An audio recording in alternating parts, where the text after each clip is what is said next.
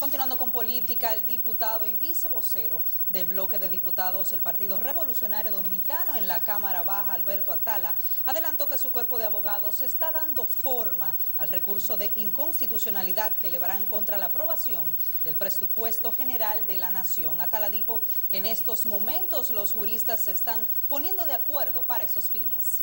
Bueno, nosotros estamos ya dándole puntos finales a través de los distintos...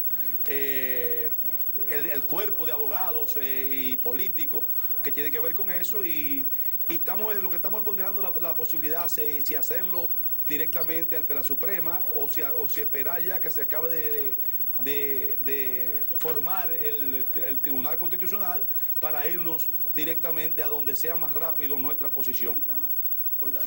El Partido Revolucionario Dominicano mantiene su posición de que es ilegal la aprobación del presupuesto general de la Nación, ascendente a 430 mil millones de pesos.